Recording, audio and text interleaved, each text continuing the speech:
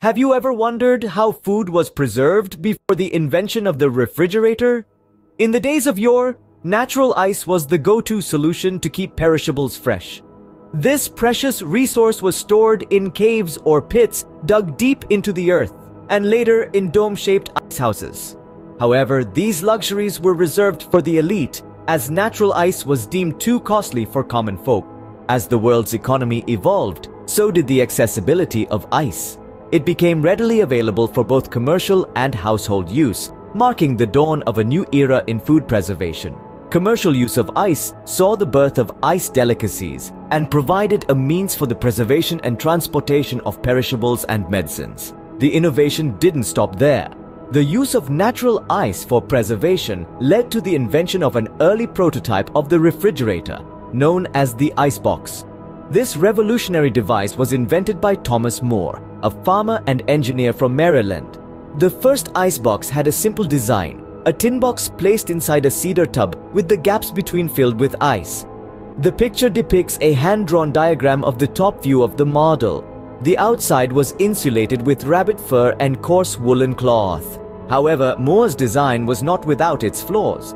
The lack of proper ventilation and air circulation posed significant challenges, but these hurdles only fueled further innovation. The design evolved to feature a wooden chest with two compartments, the top compartment housed a large block of ice, while the bottom was used for storage. The walls were hollow and lined with insulation like tin or zinc. The gaps in the wall were filled with sawdust, straw or seaweed. The cold air was allowed to circulate from the top to the bottom compartment. These ice boxes were fitted with a drip pan under the box to collect the ice water. In more advanced models, taps were used for draining water from a catch pan or holding tanks. By 1830, these portable refrigerator chests had become popular for transporting meat. A major breakthrough came in the late 1850s and early 1860s with the advent of refrigerator cars on railways. These cars could carry an impressive 3,000 pounds of ice with meat placed on top. However, the direct contact with the ice led to the meat perishing quickly. To combat this, meat was hung from hooks allowing improved air circulation and preservation. The design was further improved after the Civil War, with stacks of ice placed at either end of the car. Salt was added to the ice to increase the cooling effect, leading to more efficient preservation.